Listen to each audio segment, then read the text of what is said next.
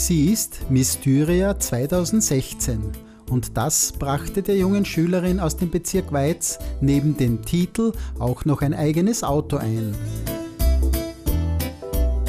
Im Kapfenberger Autohaus Fior bekam die Schönste des Landes die Schlüssel dazu überreicht. Ich habe mich auf den Tag heute wirklich schon gefreut und ich freue mich jetzt, weil das mein erstes eigenes Auto ist und ich habe wirklich schon lange darauf hingewartet und jetzt ist es soweit. Also sehr super. Du wirst jetzt im Nachhinein auch noch sehr viel Arbeit haben. Was kommt jetzt alles auf dich zu? Also es sind schon sehr viele Termine. Also ich kriege schon von den Veranstaltern also Anfragen rein, ob ich zu der Veranstaltung kommen soll oder zu der. Und das nehme ich auch alles an, weil es auch repräsentativ ist und das ist sehr super. Und dann ist halt auch die Miss Austria Akademie in der Therme Geinberg, auf das freue ich mich auch schon richtig, mit den anderen Mädels und die alle kennenlernen. Und dann ist eben die Miss Austria Wahl, das sind so die wichtigeren Termine. Dann ging es für die junge Gewinnerin auch schon ums erste Probesitzen im neuen Auto. Die Freude ist riesengroß und der Geschäftsführer des Autohauses gab der jungen Steirerin eine erste kleine Einschulung. Wie sehen die weiteren Schritte für die junge Mysteria aus?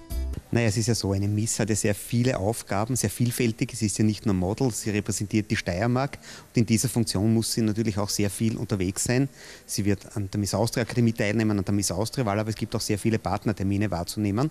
Und äh, da ist es einfach eine nette Geste, wenn man dem Mädchen auch dann äh, für einen gewissen Zeitraum, in dem Fall sechs Monate, ein Auto zur Verfügung stellt.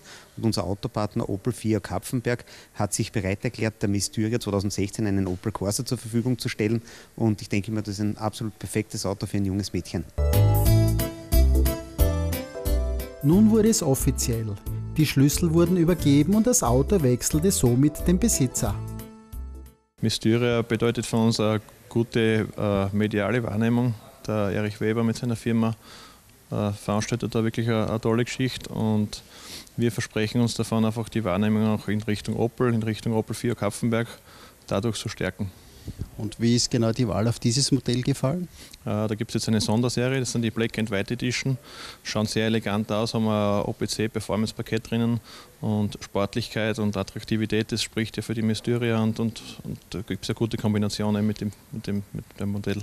Sechs Monate wird die junge Steirerin nun mit diesem Auto auf Österreichs Straßen unterwegs sein.